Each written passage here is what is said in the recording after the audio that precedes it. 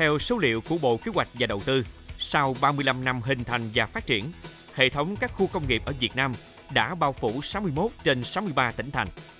Đến nay, nước ta đã có 418 khu công nghiệp, bao gồm 371 khu công nghiệp nằm ngoài các khu kinh tế, 39 khu công nghiệp nằm trong các khu kinh tế ven biển và 8 khu công nghiệp nằm trong các khu kinh tế cửa khẩu. Riêng vùng đồng bằng sông Cửu Long có 122 khu công nghiệp, khu kinh tế với tổng diện tích 137.516 ha.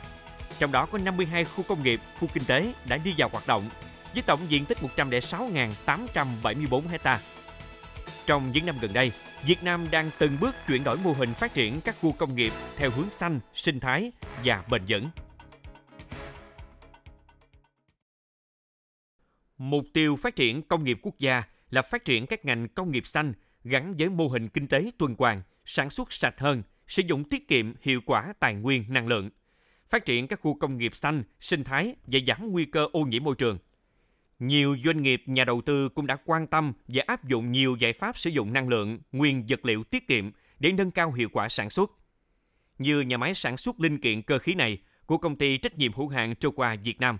tại khu công nghiệp Hòa Phú, tỉnh Vĩnh Long đang áp dụng nhiều giải pháp cải tiến và máy móc thiết bị tự động hóa để tăng độ chính xác, không tạo ra hàng phế phẩm. Đồng thời, công nhân sản xuất cũng có những phương án tiết kiệm, tránh lãng phí nguyên nhiên liệu.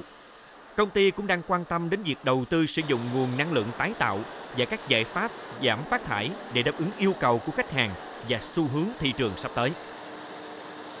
Thực ra các khách hàng họ cũng bắt đầu họ, họ thu thập dữ liệu và họ cũng hỏi về cái cái cái dự kiến của mình thôi. Nhưng mà tôi nghĩ rằng trong giai đoạn tiếp theo sẽ là cái giai đoạn mà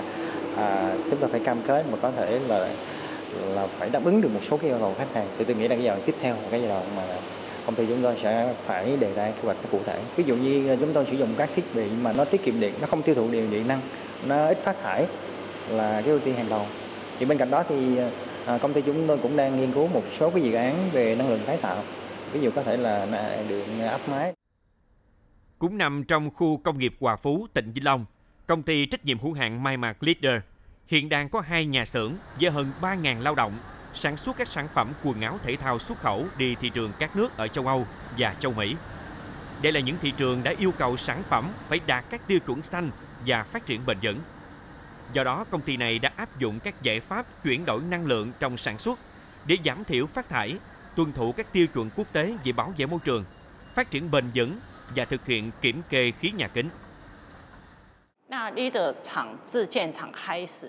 Công ty Leader tại khu công nghiệp Hòa Phú đã sử dụng hoàn toàn lò hơi điện để thay thế các lò hơi đốt than hoặc đốt dầu truyền thống. Ngoài ra, để bảo vệ môi trường và giảm thiểu tác động đến môi trường trong quá trình sản xuất, tập đoàn cũng chủ động tuân thủ các tiêu chuẩn quốc gia sau.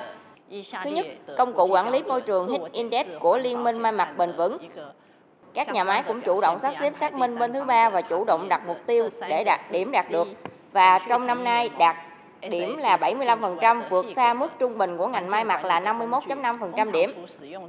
Thứ hai, kiểm kê khí nhà kính ISO theo tiêu chuẩn 14064 để đạt được mục tiêu giảm phát thải carbon của tập đoàn là giảm 50% lượng carbon vào năm 2030 và phát thải carbon ròng bằng không vào năm 2050. Công ty đã triển khai giáo dục và đào tạo về kiểm kê khí nhà kính tại các cơ sở sản xuất ở nước ngoài vào năm 2023. Việc xác minh của bên thứ ba đã hoàn thành vào tháng 8 và sẽ tiếp tục được thực hiện hàng năm trong tương lai để đạt được mục tiêu bằng cách thực hiện các biện pháp giảm phát thải. Công ty trách nhiệm hữu hạn Mai Mạc Leader cũng đã khởi công xây dựng nhà xưởng thứ ba với định hướng xây dựng nhà máy xanh đạt tiêu chuẩn LEED để trở thành một nhà máy xanh hiệu suất cao và giảm lượng phát thải carbon nhằm đáp ứng cho các đơn hàng có yêu cầu kỹ thuật cao và đạt được các chứng chỉ xanh của các thị trường khó tính. Ngoài các giải pháp công nghệ và quản lý, doanh nghiệp này cũng đang quan tâm đến các quy định và chính sách hỗ trợ của doanh nghiệp đầu tư hạ tầng và cơ quan chức năng địa phương trong quá trình chuyển đổi và xây dựng nhà máy xanh. Các nhà máy của tập đoàn Macalot cũng đã thúc đẩy hệ thống quản lý năng lượng và lắp đặt đồng hồ đo thông minh tại chỗ tại mỗi nhà máy sản xuất không chỉ để theo dõi tình trạng sử dụng điện theo thời gian thực mà còn tạo điều kiện thuận lợi cho việc phân tích mức tiêu thụ năng lượng và thực hiện các biện pháp tiết kiệm năng lượng hiệu quả hơn cho các điểm nóng tiêu thụ điện. Ngoài ra, đối với mức tiêu thụ điện bất thường, hệ thống app sẽ gửi tin nhắn theo thời gian thực đến giám sát viên nhà máy và nhân viên phụ trách để giải quyết các vấn đề ngay lập tức để đạt được mục đích kép là theo dõi mức tiêu thụ điện và giảm thiểu rủi ro an toàn cháy nổ tiềm ẩn. Hy vọng sẽ đạt được mục tiêu phát thải carbon ròng bằng không với quy trình sản xuất bền vững và thân thiện hơn với môi trường. Trong quá trình à, lập kế hoạch và thiết kế xây dựng nhà máy xanh, Công ty cần phối hợp với nhiều quy định của chính quyền địa phương và đáp ứng các thông số kỹ thuật của tiêu chuẩn nhà máy xanh LEED. Vì vậy, chúng tôi mong muốn nhận được sự hỗ trợ và tư vấn pháp lý trong quá trình xây dựng thông qua các đơn vị chính quyền có liên quan. Khu công nghiệp Hòa Phú giai đoạn 1 và 2 có tổng diện tích hơn 250 hecta. Tỷ lệ cho thuê và lắp đầy đạt 100%. Hơn 90% nhà đầu tư trong khu công nghiệp này là các doanh nghiệp xuất khẩu. Do đó, chuyển đổi hạ tầng dịch vụ khu công nghiệp theo hướng xanh bền vững không chỉ là mong muốn của chủ đầu tư khu công nghiệp mà còn là đòi hỏi từ chính các nhà đầu tư sản xuất đang hoạt động tại đây. Hiện khu công nghiệp này đang có hệ thống xử lý nước thải tập trung có công suất đáp ứng yêu cầu cho tất cả các nhà đầu tư cũng như đảm bảo tiêu chuẩn nước thải sau xử lý. Bên cạnh đó, công ty cổ phần Hòa Phú cũng đã ký kết với doanh nghiệp cung ứng giải pháp năng lượng tái tạo để hỗ trợ các doanh nghiệp sản xuất hướng tới mục tiêu phủ điện mặt trời trong toàn bộ khu công nghiệp. Một trong những ờ, tiêu chí mà để chuyển đổi xanh thì sử dụng cái nguồn điện năng lượng tái tạo. Ờ, hiện tại ở đồng bằng ờ, sông Cửu Long thì khả dĩ nhất là sử dụng điện năng lượng mặt trời. Thì vừa rồi công ty Hòa Phú cũng đã ký hợp tác chiến lược với công ty SB Group Việt Nam trực thuộc tập đoàn SB Group của Singapore. Đây là một đơn vị ờ, có khả đáp ứng khả năng về mặt tài chính cũng như có năng lực kinh nghiệm quản lý vận hành bảo trì cái lưới điện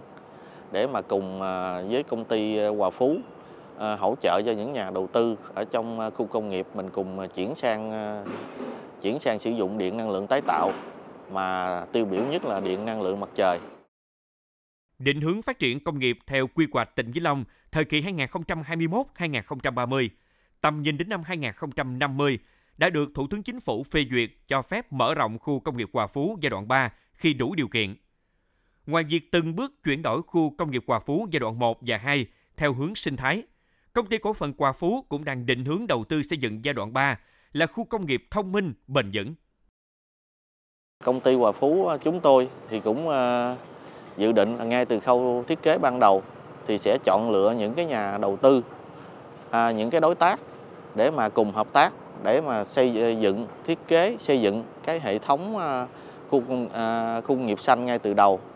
À, ví dụ như là về cái mảng năng lượng thì chúng tôi như đã nói cũng sẽ ký kết hợp tác uh, chiến lược với SP Group để mà xây dựng cái mạng lưới điện thông minh, uh, sử dụng điện năng lượng tái tạo, uh, tập trung xây dựng một cái hệ thống sử dụng nước Từng Hoàng. Nhà máy xử lý nước thải của khu công nghiệp giai đoạn 1, giai đoạn 2 của Hòa Phú mới chỉ ờ, đạt khoảng ờ, 1 phần 3 công suất. Công suất hiện tại được thiết kế thì là 6.900 khối một ngày đêm, nhưng mà hiện tại là mới có 2.000 ờ, mét khối thôi. Thì giai đoạn 3 thì chúng tôi cũng sẽ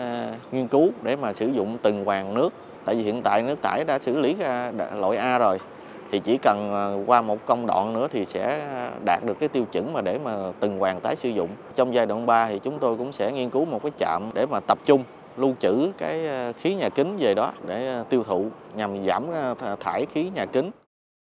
Phát triển khu công nghiệp xanh, sinh thái là xu hướng tất yếu đang diễn ra trên toàn thế giới. Các khu công nghiệp được đầu tư theo hướng sinh thái mang lại cho các nhà đầu tư thứ cấp nhiều lợi thế hơn – đặc biệt là trong việc đáp ứng các tiêu chí xanh hóa chuỗi cung ứng, cũng như các tiêu chuẩn môi trường và xã hội theo yêu cầu của thị trường. Việc phát triển các khu công nghiệp sinh thái thông minh còn tạo điều kiện để thu hút dự án FDI công nghệ cao, có quy trình sản xuất xanh, góp phần đảm bảo phát triển bền vững kinh tế xã hội. À, với cái sự phát triển của khu công nghiệp hiện nay ấy, thì xu hướng phát triển xanh là tất yếu. À, không thể nói là ừ, cần phải phát triển nữa mà nhu cầu của các cái nhà đầu tư bây giờ phải là xanh. À, tại sao lại xanh? Bởi vì sao? Bởi vì tất cả các cái uh, sản phẩm mà tiêu thụ tại thị trường uh, châu Âu hoặc châu Mỹ hoặc các nước ASEAN mà Việt Nam đã ký uh, hiệp định evfta, uh, CPTPP hoặc là các cái hiệp định APTA thì người ta đều áp dụng các cái tiêu tiêu chí của ESG và các cái tiêu chuẩn xanh đấy nó sẽ được vượt qua hàng rào thuế quan của các nước mà nhập khẩu Chính vì vậy mà các nhà đầu tư lớn đến đây, ví dụ như điện điện tử hoặc các cái nhà đầu tư công nghệ cao ấy, thì họ buộc các cái khu công nghiệp ờ, làm hạ tầng phải có một hạ tầng tốt và đạt cái tiêu chuẩn ờ, quốc tế về ờ, phát triển bền vững là phát triển ESG rồi net zero carbon hoặc là xử lý rác thải, tái chế xử lý rác thải ngay tại trong khu công nghiệp. Đây là một cái tiêu chí rất quan trọng để cái công nghiệp Việt Nam phát triển và các nhà phát triển ừ, hạ tầng công nghiệp Việt Nam ờ, phải thực hiện nếu không thực hiện ấy thì cái tính cạnh tranh sẽ không còn Việc xây dựng mới hay chuyển đổi các khu công nghiệp truyền thống thành khu công nghiệp xanh sinh thái đang là xu hướng tất yếu của các nhà đầu tư thứ cấp, có thể đáp ứng các yêu cầu về tiêu chuẩn xanh của nhiều thị trường trên thế giới. Xu hướng này vừa phù hợp với chiến lược quốc gia về tăng trưởng xanh, vừa thực hiện cam kết của Việt Nam với quốc tế trong các vấn đề ứng phó biến đổi khí hậu, bảo vệ môi trường và phát triển bền vững, cũng như góp phần hiện thực hóa cam kết của Thủ tướng Chính phủ tại hội nghị COP26 là đạt mức phát thải ròng bằng không vào năm 2050.